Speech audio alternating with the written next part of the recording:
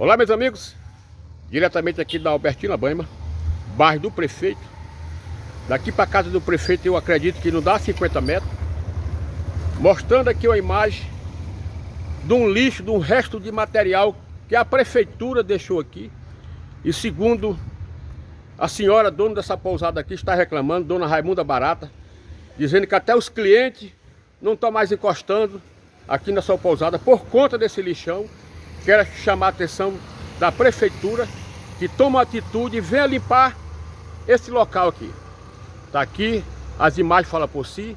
E quanto à imagem, não há argumento.